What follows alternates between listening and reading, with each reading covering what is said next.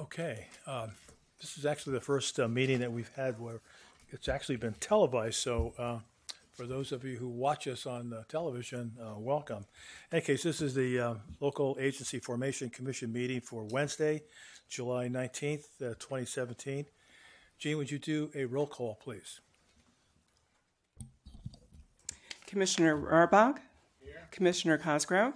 Here. Commissioner Draper? Here. Commissioner Garbarino? Here. Commissioner Sheridan? Here. Commissioner Slocum? Here. Chair Don Horsley? Here. Okay, item number two, actually, we have a brand-new member, Harvey Rarback. So uh, you're relatively new to the city council in Half Moon Bay and formerly from the fire district on Half Moon Bay as well. That's right, Don. Um, it's really an honor to be here. Uh, glad to uh, serve in any way that I can. So Great to thanks for- have you. Good. Thank you. Thanks, Harvey. So next item is a consent agenda, and there is an A through F. Uh, There are action mi- minutes from May 19th all the way down to some proposed annexations. Is there, are any items to be taken off of consent, or is there a motion to approve the consent agenda? I- I have a question. If I have not been here at Sure. previous meeting, uh, I have to uh, recuse myself. I assume. Is that right?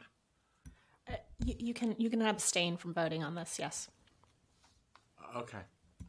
I got one question also. I, I was not here for last meeting with, for the minutes. You you can either abstain or you can review. If you've reviewed the the documentation, you can you can um, vote to approve. Okay, I, I reviewed it. It's fine. Josh- Joshua? Yeah, I was also not here at the last meeting, but I did review the minutes, so I, I won't need to abstain. Is that is that appropriate? You will not need to. You don't need Not to. need I to. need to. If you read it, you're good. Yeah, You're okay with it. I read it. Cor- correct. I'm sorry if that was confusing. No, I just want to do that for the record. That was all. Okay, what's the pleasure of the commission? Uh, I move approval of the consent calendar, um, A through F. Second? Okay, there's a motion and uh, second. All in favor signify by saying aye. Aye. Okay, thank you. So we are now on to item number four, which is public comment for items not on the agenda. And I have one card for public comment. And uh, the subject is Peninsula Healthcare District. And I see a couple, I think, a couple of members from the Healthcare District uh, from, oh, I have a few more. Okay, this one is uh, Kindy. I'm sorry, it's uh, the last name. It looks like Macamix or Mac Macamill. And then followed by Ashley McDevitt. I apologize, Chairman Horsley. If, the, if this is for items not on the agenda, or for items, or is this with respect to Peninsula Health- Healthcare District? Because I believe that is on the agenda. Oh, okay. In that in that case, uh, these are for item number five. So I'll catch you uh, at later. Sorry. I don't usually make mistakes, but every once in a while. So item number five is a uh. Okay, this is a continued from May seventeenth. It's the addendum report, consideration of the municipal service review, sphere update, and recommendation, but term- determinations for the two uh, healthcare districts, Sequoia and Peninsula Healthcare Districts. Martha? Yes, thank you. Good afternoon, members of the commission, members of the public. Um, This item was, uh, the schedule for um, producing this report slipped, and so this item's on your agenda, but the recommendation is um, for you to accept um, my report and, or receive my report, receive public comment, and continue it to the September meeting to allow for adequate time for the districts and other interested parties to um, comment. And tho- those comments can then be also recognized at your September meeting. Um, what I did want to do is um, make some a brief um, kind of summary of the municipal final municipal service review that was the product of a draft report considered by the commission at the May 17th meeting and then um, edited to reflect requests and questions from the commission, also comments and, and questions from the um, commenting entities.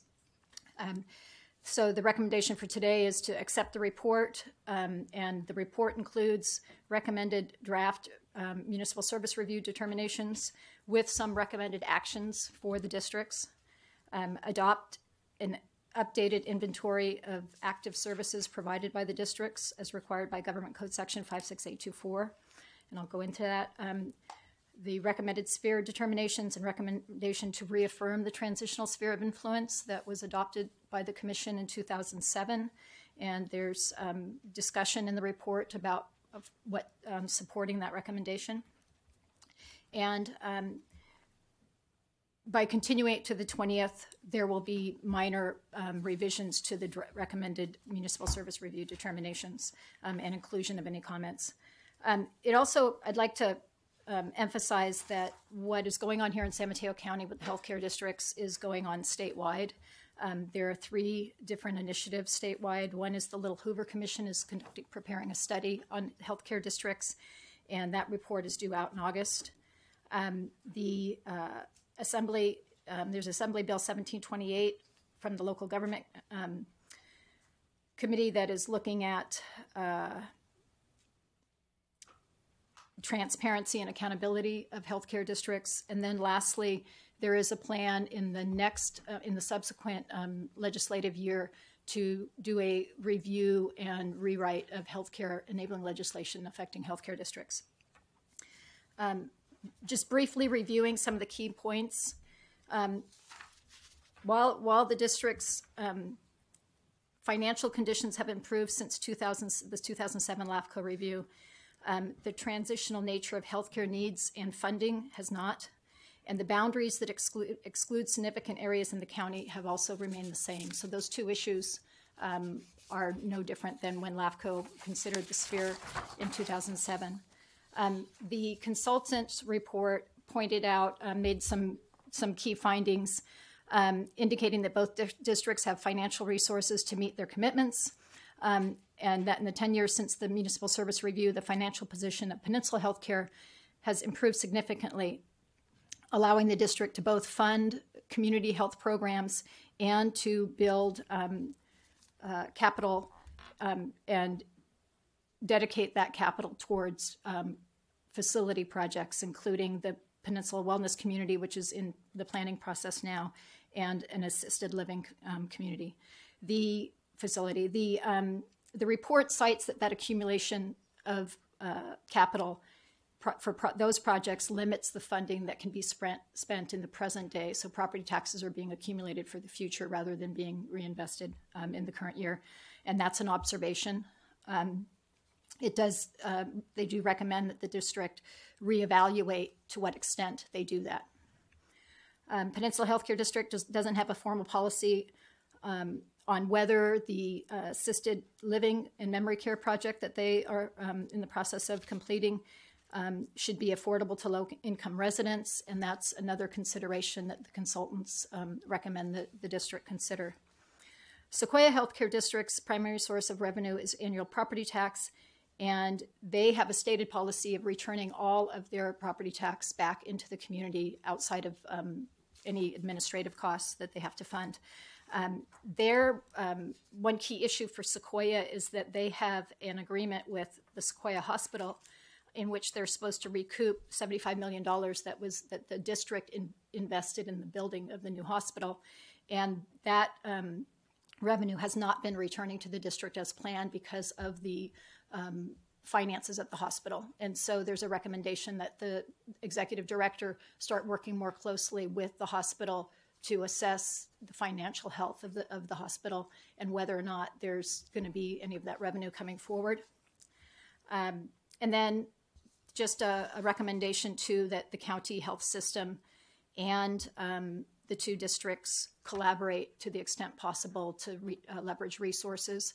Um, I'd like to emphasize for the audience um, that the report is a mandated report and it is not intended to be a, a, a, devalue in any way either of the districts. It's an assessment. Um, the report documents um, considerably the uh, support, the wide support for the district's programs that are funded, and the value of those programs. And then uh, something that I believe bears um, emphasis is the or merits emphasis is the need to consider expanding the boundaries of the districts. The districts were formed at a time when this county was not completely built out. There are areas like East Palo Alto, East Menlo Park, North County areas and coastal areas that don't benefit from healthcare district programs. Um, in regard to governance alternatives, which is always a sensitive topic, um, I have in your the report before you today um, a summary of the different governance alternatives. Dissolution of the district is um, briefly noted with the um, issue that it be it would be a very complex issue due to the long-term liabilities of Sequoia Health Care District and also the complex master agreement that Peninsula has with the Hospital Mills Peninsula. Um, and dissolution would require a willing successor entity. So, in order to dissolve a district and have those services continue, there would need to be a successor agency that would be willing to take that on. Um, the um, dissolution of the other option of a dissolution is dissolution of a district where those services cease, and the property tax of the two districts would just be redistributed to um, remaining entities that share territory with the district, and that um, alternative is not supported by the benefits of the, of the district programs that are identified in the report. So that's not a recommendation that I would make to the commission. Consolidation of the districts would be complex and require both political will on part of both districts, um, and it, but it could provide savings in, in, administrative and governance, and it could, um, I think, a discussion or, or analysis um, could reveal that consolidation could lead to healthcare policies and programs that address the broader community, and with annexation, the community, the county as a whole. Expansion of district boundaries um, would require, would address the excluded areas. Um, the challenge to doing that is that in, in annexing areas, there needs to be a new revenue source. If the district's receiving a share of the property tax now within both districts within their boundaries, an annexation would require the county and the cities that would be annexed to give up some of that property tax to fund the program um, services that would be provided. Um, as I noted, I don't recommend amending the sphere that was adopted in 2007. Um, one other requirement in the law when there's a municipal service review and sphere update is that uh, the commission is required to um, adopt the inventory of active services, and this falls under Government Code Section 56824.1.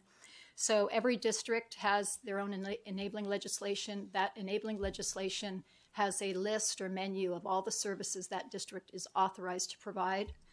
In LAFCO law, um, the the services that are inactive are considered inactive, and the considered and the services that are already being provided are active. Um, in the July 19th report on page four, there's the listing from Health and Safety Code of the services that are authorized by the district, and those that are shown in bold are those that I interpret to be the active services of the district, which are um, the power to enter into contracts with health provider groups, community service groups, independent physicians and surgeons, and independent podiatrists for the provision of healthcare services, and um, the ability to provide assistance or make grants to nonprofit provider groups. And the activities of the districts, um, such as Apple Tree Dental or um, grant funding to Samaritan House, fall into those two categories. All other services are inactive and in order to activate them, they would re- require coming to LAFCO with an application, a plan for service, a budget on how those would be funded. Um, and that concludes my remarks, and my recommendation again is to continue, take public comment, and continue it to September. Oh, First, uh, co- do commissioners have some questions? And Any? None? Okay, in that case, uh, we'll do the public comment, and I'll st- start that all over again. Uh, Kendi Macamill, followed by Ashley McDevitt.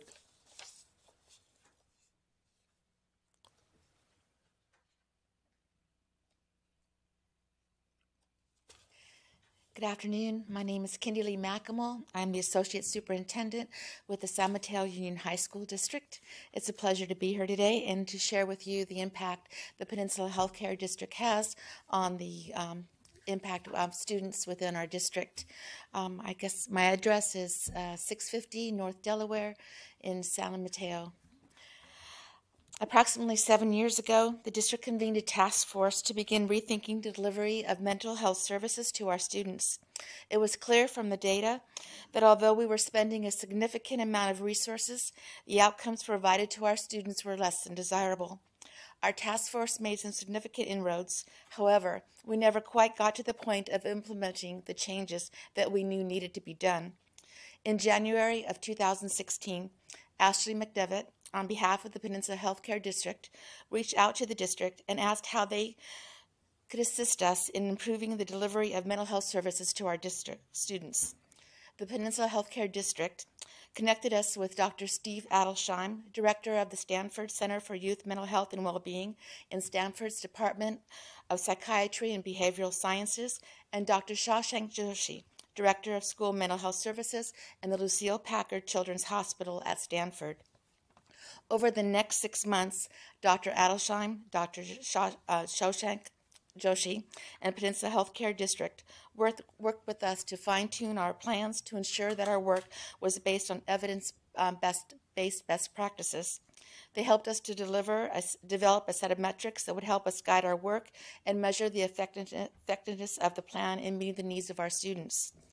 By June of 2016, we were ready to launch our program with Peninsula Healthcare District Board of Directors approving this uh, seed money to assist us with the implementation of a school-based mental health program that would significantly change the way that our district responds to the mental health needs of our students. Can I go on? About go ahead. Okay. Throughout the past year, we've had the luxury of meeting biweekly with Peninsula Healthcare District and our Stanford partners. They've helped navigate us through HIPAA and FERPA issues, provided us with professional development and case management consultation. They have served as a conduit to local, state, and national resources. Together, we have provided staff training and sponsored community forums and lecture series in partnership with community um, nonprofit agencies. With the support of Peninsula Healthcare District, we have also supported other local school districts. For instance, we piloted Kognito, a nationally recognized online staff development tool to provide mental health and suicide awareness. Kognito training is now a requirement for all certificated and classified staff, not only within our district, but within schools throughout the county. They have also helped with the development of Health Master. Could you summarize it for us? A FIPPA and HERPA compliant information system. Health, um, Health Master is now being implemented throughout the county. In closing, I would like to thank the Peninsula Healthcare District and the County Board of Supervisors for making this partnership possible. They have truly made a difference in the uh, delivery of mental health services to the students within our district. Thank, Thank you. Thank you. It's Ashley McDevitt, followed by Bonnie, it looks like Bonnie Jew. Thank you, Chair Horsley and Commissioners. My name is Ashley McDevitt, and I have been a member of the PHCD team for four years, currently serving as the Community Outreach Coordinator. I welcome this opportunity to speak with pride about the work being carried out by the district and the difference it is making on the health of our community. Health does not happen between four walls of a hospital. In fact, the Center for Disease Control has recently pointed out that health potential for, for adults is 20% medical care, genetics, and environment, and 80% lifestyle physical activity, eating, healthy eating, getting enough sleep, and not engaging in risky behaviors. We recognize this paradigm shift by um, from sick focus to a health focus, and the reality that health is pre- predominantly community based. PHCD is committed to fulfilling our mandate by identifying health needs and gaps, collaborating with community partners, implementing programs, and measuring the impacts of those programs that they have on the health of our residents. We use local quantitative data sources such as the San Mateo County Triennial Health Needs Assessment, census data, Pacific Islander Needs Assessments, and Youth Commission Needs Assessments, and others. We participate in a variety of community health collaboratives and committees, such as the Healthy Community Collaborative Oral Health Coalition and School Wellness Alliance. We convene stakeholders and community partners in discussion through meetings, focus groups, and town halls. Um, as you had just heard about our partnership, when we were trying with this high school district, we were trying to better understand issues that are affecting teens. Um, we convened parents, county behavioral health uh, representatives, community partners such as Stanford and Star Vista, members of our faith, the faith community, and mental health experts at the variety of hospitals within our district. We're also using a new online survey tool called FlashVote, which gathers information from residents. This information we gather enables us to better understand the health needs and really identify specific gaps in services and programs. We develop new programs when no programs exist to address a specific health need, and we build capacity within our partners to serve more residents. Through these partnerships, we are able to Go, just go ahead and summarize. Okay. Um, we are committed to using evidence based practices to both implement and measure impact. Um, I thank you for this opportunity to increase public awareness about um, how districts play a, hel- a, role in the healthcare system. Thank, thank you. you. And uh, Bonnie Jew, followed by Daniel Eckert. Hello. Hello. Uh-oh. Already? I'm saying that was fast. okay. Well, my name is Bonnie June. I'm the dental director at Apple Tree Dental California. Uh, I've been a dentist for over 24 years, and throughout my career, I've worn many hats. Uh, as a faculty member at UOP and UCSF dental schools, I coordinate community programs in which I bring dental students and we provide care to underserved populations in the community. And I had also worked in my family's private dental practice until 2015 when I joined Apple Tree in San Mateo. While equally important to me, these different aspects of my career have generally existed in separate silos. Um, so you can imagine how exciting it has been for me to work in an organization uh, that incorporates all these elements of patient care about which I'm so passionate. Because AppleTree's model is so innovative and flexible, we are able to provide quality dental care to all members of the community, including those who have extreme difficulty finding other dental providers, either due to financial limitations or physical access challenges. The Peninsula Healthcare District saw this need for access to dental care and took the bold steps to bring Apple Tree Dental to San Mateo. In 2016 alone, we were able to provide dental services to 485 seniors, 1,151 children, and 1,819 adults, including hundreds of people with special needs. We also have a pediatric dental specialist who is providing dental actively providing dental services for children with special needs, many of whom have Denti-Cal including providing hospital based general anesthesia on the Mills campus in San Mateo.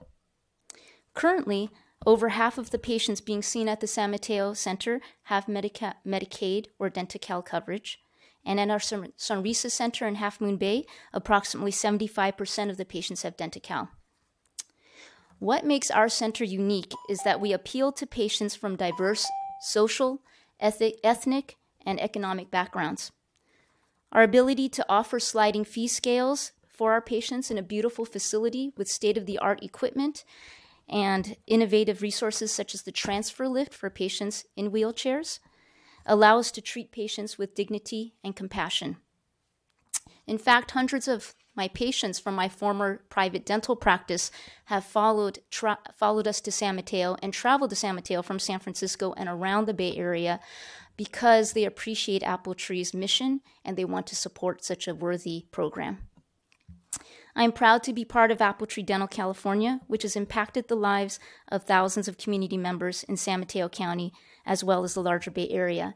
And I am so grateful to organizations such as the Peninsula Healthcare District and the Sequoia Healthcare District who support programs like ours that provide critical services to its constituents. Thank you. Thank you. And Daniel Eckert?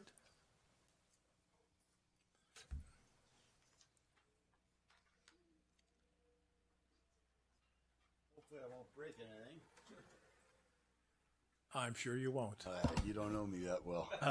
Pool in a china shop. Okay. That's all right.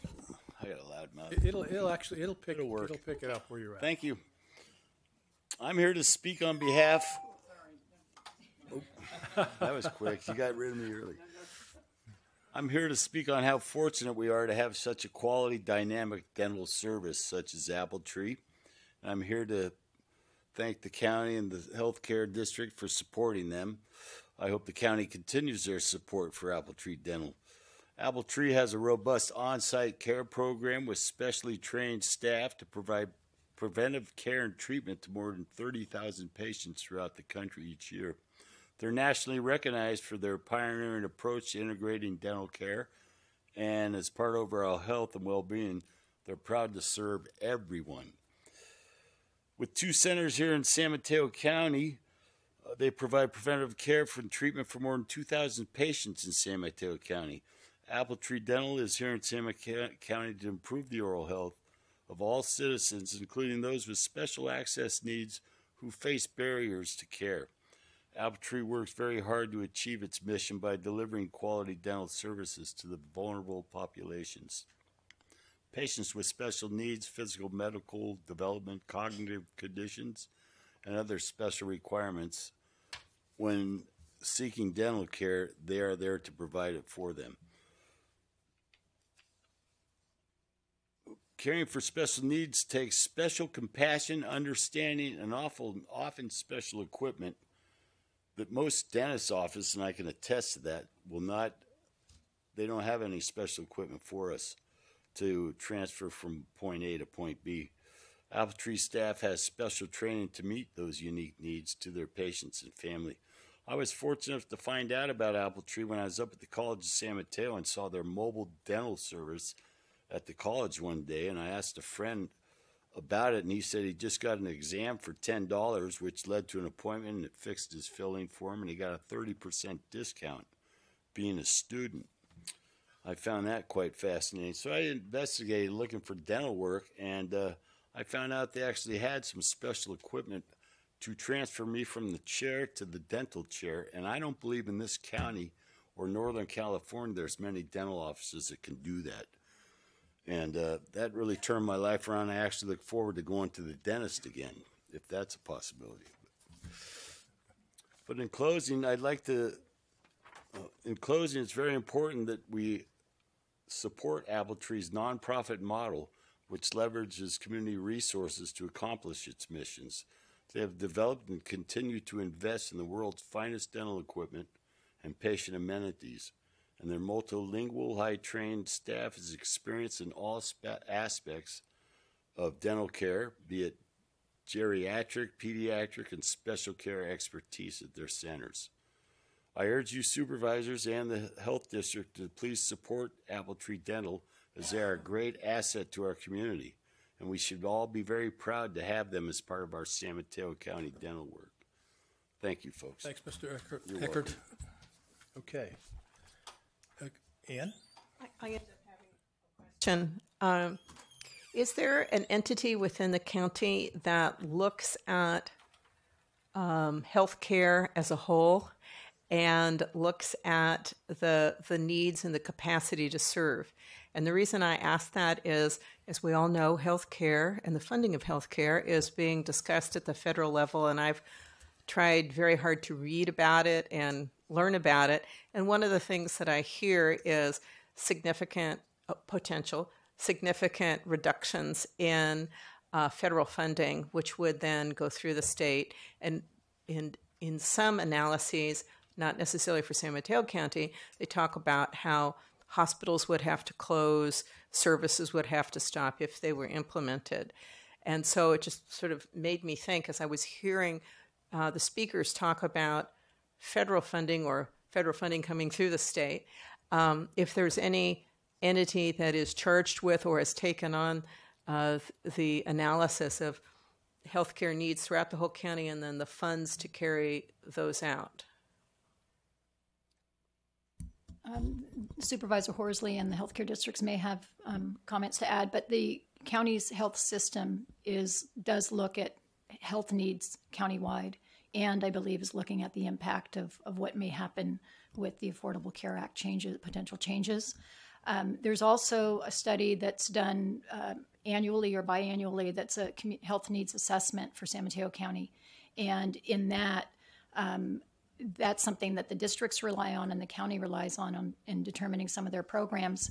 And actually, that um, assessment also um, identifies these districts and the county as um, important assets for healthcare. Uh, Commissioner Draper, I might just add a couple things because I am on the, it's the health plan of San Mateo, and it basically it um, it's a it's our entity that we've created to um, provide health care for uh, both indigent folks and people who are on Medi-Cal, which is essentially generally for low income uh, people in the county. We have about 150,000 people in that system, and um, so we have, uh, and obviously the county has a hospital and there are 12 clinics, and we work closely with uh, all of the hospitals. The only hospital that our health plan does not have a contract with is actually Dignity. We do have one with uh, with uh, Sutter and with Seton, and, uh, and and we also have uh, obviously for mental health and for substance abuse, our uh, behavior health and recovery system actually. Uh, provides those kinds of services as well. So, yeah, we do have a really, I think in this county, we're pretty fortunate uh, in that we have a very robust system. Uh, for people who are not covered by Medi Cal or Medicare or private insurance who have essentially who are not eligible, for example, they may not be eligible because of immigration status. Have another program called ACE, which is Access and Care for All. So there's essentially no reason for anybody in this county to be without some kind of health coverage. And we have a, a very robust network of primary care physicians and contracts with uh, specialists as well. So, uh, whatever your um, uh, you know illness uh, is, uh, we somehow manage to take care of it. And the healthcare districts actually provide somewhat of a safety net as well, um, in a somewhat different way. It depends on the, the particular programs for the individual uh, healthcare districts. But you know, I think overall we do in this county have a, a pretty robust system. And we, uh, at the same time, we're worried about what the federal government may or may not do. Uh, it looks like the uh, the alleged, it's kind of a funny, so a funny name. They called it Better Healthcare for All, which actually was worse. Um, but uh, it should have been the worst healthcare, healthcare for all. But you know, we do, you know, we do, we were, we've sort of anticipate, well, tried to anticipate, if that happens, what would we do?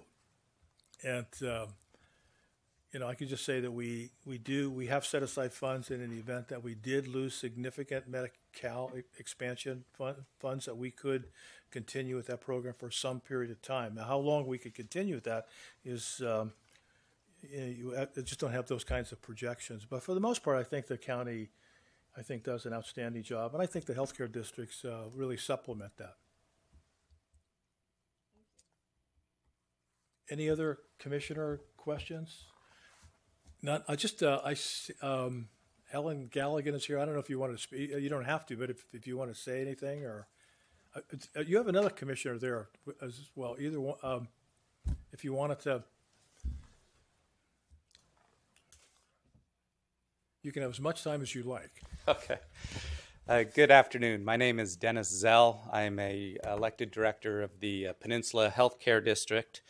Um, uh, uh, just wanted to make a, a, a, few points about where healthcare districts fit into the o- overall scheme of things, because that's a question the legislature is looking at right now, and it's certainly a question uh, that's uh, addressed in, in the report. Um, the, the way to think about healthcare districts, uh, from my perspective, is uh, that we're a, we're a gap filling entity. The county, with its uh, 2.7 or so uh, billion dollar uh, budget, uh, is charged with uh, indigent care. It gets the grants from the federal government or the state and and and uh, provides for in, indigent care. In our county, we're also fortunate to have a robust private industry. We have hospitals that and private doctors who uh, provide services on the private market. Uh, uh, we're fortunate that uh, we have a, a, high level of uh, people who are insured in this county. Um, uh, our our budget for the Peninsula Healthcare District is six million with an M dollars a year. that's the tax revenue we receive from property taxes. Um, healthcare districts are a creature of statute and their scope and authority is limited by statute. Healthcare districts can be innovative and are expressly authorized to, quote, finance experiments with methods of providing adequate health care. That's California Health and Safety Code, Section uh, 32126.5 uh, AC. However, unlike counties, all of our programs and projects must be self sustaining. That's California Health and Safety Code 32125, uh, which, which, states a, a district shall not contract to care for indigent county patients at below the cost of care. In setting the rates, the board shall, insofar as possible, establish rates as will permit the district healthcare facilities to be operated upon a self supporting basis. And, and so, what, what that means is uh, um, that there's a what to address uh, your your question. Uh, um, there, there's a health needs assessment. This is a regional report that's done about every three years. Hospitals are are uh, invited. Uh, the government, the, the county is invited. County officials, um, uh, uh physicians, and they assess what services are being provided in the region and uh, what what how the outcomes are, what what are the areas are improvement, and so that document um, is is an important document. It is the document that uh, our, our, our CEO sits on that board. Uh, it, we we it projects not only that which exists, but problems that uh, will occur. So, for instance, a few years back, there was an issue with the aging population in this county. This is because of the baby boom. This is going to be one of the oldest uh, counties, and so that has that demographic fact has uh, significance to to the delivery of of health care. And so that's when we started this, uh, what, we call the uh, uh, the um, the Trousdale. This is our memory care facility. Um, our projections showed that the county was going to be uh, short of memory care facilities. So before that uh, demographic bubble hit, we, we started planning and building. The same uh, with our uh, Peninsula Wellness uh, community. It's going to provide assisted li- living. Uh, we're, we're, we're, working with like Mission Hospice. We're, it, it's going to be this idea of aging in in place, so that um, uh, instead of having a shut, uh, shut in up in their uh, uh, uh, house in the hills, they can uh, sell or rent that out, come to a facility where they can uh, get older with others and have all the services there needed so that they don't have to, to leave their community.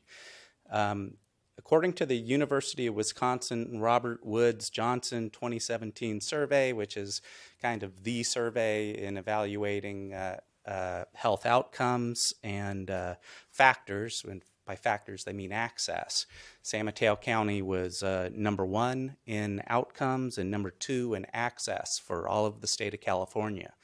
So the, the combination of, uh, uh, of a county who's uh, really innovative and in, in tune with taking care of the indigent care, coming up with creative solutions with the, uh, the ACE program uh, uh, that the supervisor mentioned, and um, the, the children's insurance program.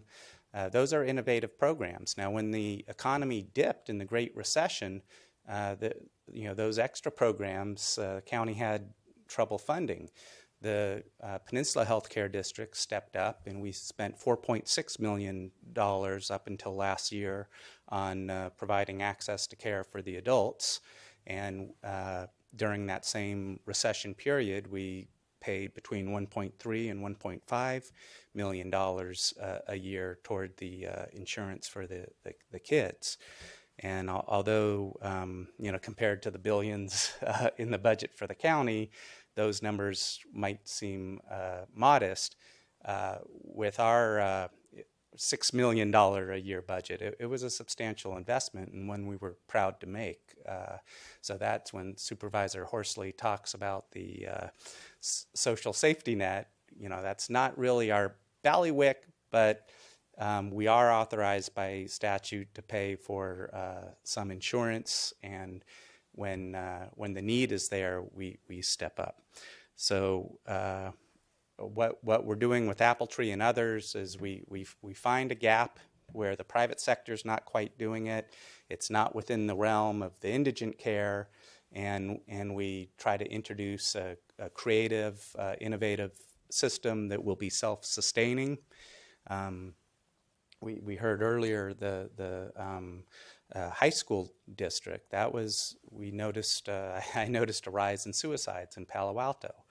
How can we uh, stop that uh, phenomenon from occurring in San Mateo County? Uh, we called up Ashley. Ashley called up Stanford University and, and the district. We got uh, everybody together, and in within six months, we had implemented a, a program which the high school district uh, Stanford were uh, both supportive of, and which had had just been lacking funding, and now the, the high school district is going to continue that. So that those are the kinds of things we do. I, I probably spoke longer than I should have, but but I appreciate uh, the opportunity. And Thanks very much. Any, any questions from commissioners? Uh, any comments? I'll just reiterate the two comments that I made uh, about from the Peninsula Healthcare District and also Sequoia. I would like to see an expansion. In fact, that's in the report, expansion of the boundaries. I know that's, uh, you know, it would have to work with cities and the county as well, but uh, especially in the Sequoia Healthcare District, because East Palo Alto is an area where there's significant health needs. And so I would like to see the, uh, the districts work on an expansion of the boundaries. And of course, uh, Sequoia probably really needs to be looking at uh, the hospital and whatever happened to the revenue stream that they had an- anticipated in the past. Um, and the last comment I had, uh, going back to Peninsula Healthcare District, really had to do with your memory care. Is uh, is finding some way to at least take some low-income folks as well as uh, your uh, regular clients. So, because those are my two comments. Commissioner Rarback. The coast side really does have a, a significant need for medical care. There's a large uh, population that uh, is not totally indigent, but certainly can't afford private uh, care, and it's something worth uh, thinking about. With the only emergency um, services available are um, very expensive, just Seton Coastside, and uh, anything that can be done to help the healthcare outcomes on the coast side would be greatly appreciated one way or another. Thanks. And uh, I think actually the district closest to the coast side, probably Sequoia. In fact, uh, so your uh, son Reese's is, uh, is on the south coast, but I, I actually think the Half Moon Bay and south coast is probably closest to Sequoia Healthcare District. So we will make that comment to them at a later point. We don't need to take, make a motion on this, correct? This is just basically information? Okay. Thanks for your comments. Appreciate that. And for the folks who had public comment on this item as well. So we'll now go on to item number six, an application received and not certified as complete. It's another information only. Correct. Nothing to add.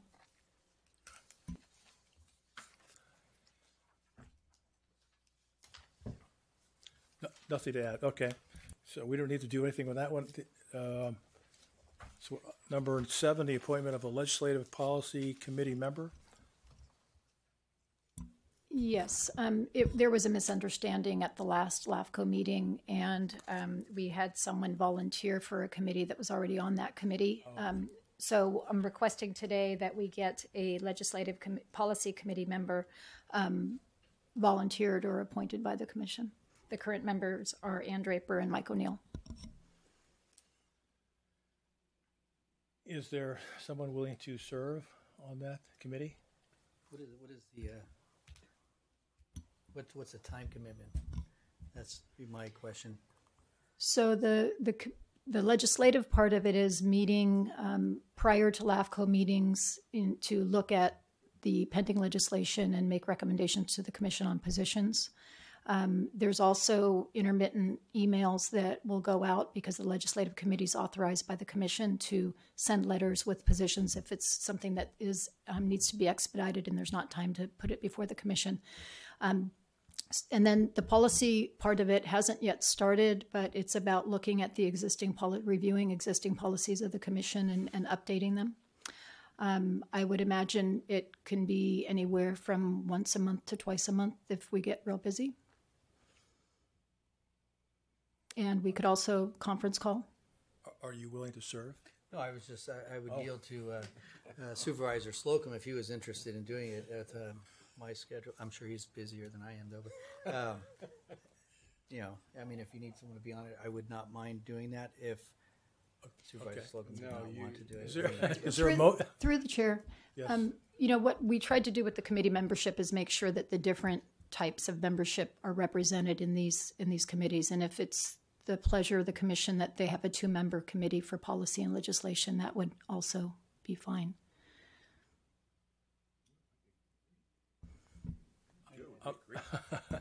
So, uh, I'm not sure what, so we don't need to make a motion, to don't need to appoint somebody?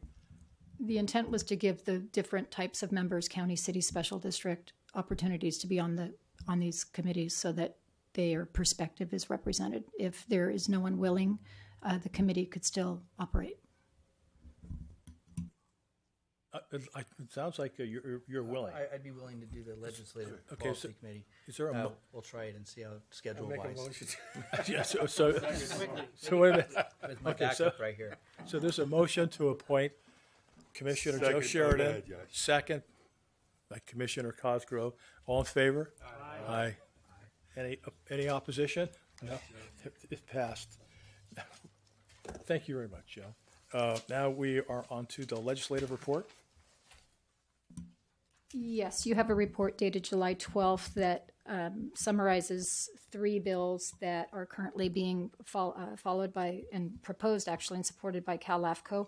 Um, the bill that is AB 464, this commission's um, legislative committee authorized a letter of support, and that um, was actually that bill was signed by the governor, and that affects um, the ability of or the um, process and policies regarding annexing lands that are already receiving service under um, contract and already approved by LAFCO.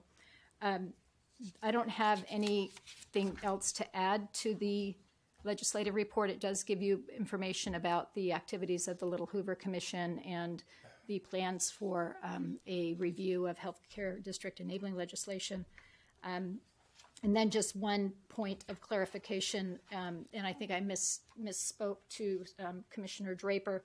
The um, SB 448, which would fit, um, streamline the ability to dissolve districts that are inactive, the um, idle districts are defined as districts that by their enabling legislation can receive revenues to provide programs and they may have years where they don't receive those revenues and therefore they're idle. And so those districts were removed in order to not um, compromise a district that has a good it could be like a resource conservation district for example that doesn't receive property tax but every couple of years might receive a grant to do work and so that that was all i wanted to clarify and there's no action. This is information only. My question was on, uh, thank you, was on page one, was inactive versus idle. I didn't know what the difference was, so um, thanks for that. I also wanted to let the uh, commission know that I had requested, and staff has done it, uh, is that whenever this LAFCO writes a letter to a state elected official, that we CC our local state elected officials. so they they know what we're doing, and hopefully will um, uh, take that into consideration as they have conversations and actions with their um, within their bodies. So thank you very much to staff for adding that. Okay, uh, going to the next item with the annual conference is in October 25th through 27th. Um, Did you want to make a comment about that? Do- we, Yes, just to clarify that the commission's budget budgets for one staff member and one um, commissioner from each category of membership to attend the conference.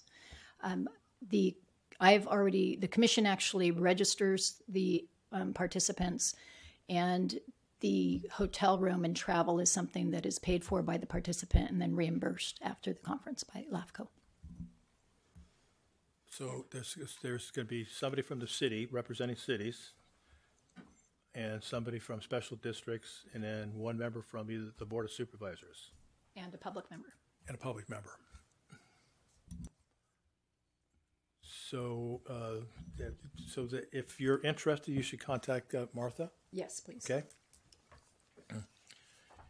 Next is uh, nominations for 2017, 2018 board members. That's the rotation for our chair. Uh, No, excuse me, this is for the California Association of LAFCO's board members, and there's a mistake in the memo. It's actually the, Cal LAFCO that is, is divided into four regions, and we are in the coastal region.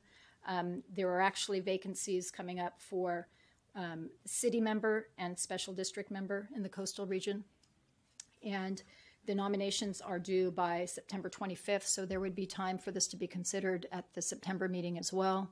If either the city members or a special district member would like to be nominated by this LAFCO, or both, to be nominated by this LAFCO to um, run to be on the state board.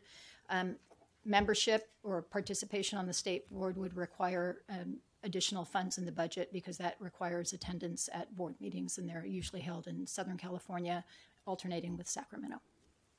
Any interest? Okay. Yeah, I'm on the uh, legislative committee here. You're taken up now. Okay, your time is all uh, used up. Okay, so I don't hear any uh, nominations, so we'll go on. The Achievement Award nominations, is that, do we have, um, no? Nothing to nominate, no achievements, okay. Uh, Item number 10 is Special District Risk Management Authority. It's Yes. Another election. And, and this is voluntary on the part of the commission. I wanted to give you the opportunity. So the, the commission receives, um, is insured by the Special Districts Risk Management Authority, which is part of the California Special Districts Association. And they have a board and they have elections and we, this commission is authorized to vote if you would like to cast a vote for any candidate. Okay. Uh, Joe, would you like to be on this? No, there's already nominations. Okay. I, I'm not, anybody interested in serving on this? So, so this is actually, there's a ballot and there are, are people that are running and it's whether or not this commission wants to vote Oh, for know? one of those candidates. Do we know who they are?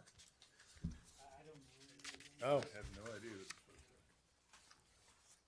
Um, do we individually, yes, do we, in other words, take a motion, or do we decide on, as a group to vote on one, or? Y- Yes, and so I, I would rely on the special district members as to whether or not, and I'm not to, not to put any pressure on you, but it- it's, it's difficult when you have a statewide association and you get candidate statements from people in districts in other counties that, you know, whether or not you're making a wise decision on, on voting for them is, I can't advise you on.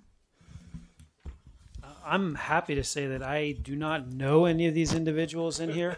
Um, and I've always kind of had a rule of thumb when I don't know the individual and they haven't reached out to me and asked, you know, for my vote, that uh, I just decline to vote. Um, Okay. That's been my policy. Maybe I should ask Sepi Richardson if she knows any of them. I guess not, no. I noticed you were hobbling around. I hope you didn't break your ankle. Ooh. Sorry to hear that. In any case, we'll uh, pass on to the next thing. And obviously, there's no, we're not going to make a decision on that. Commissioner or staff reports? Uh, Nothing? Any commission reports? Uh, There being none, we'll then adjourn. Thank you.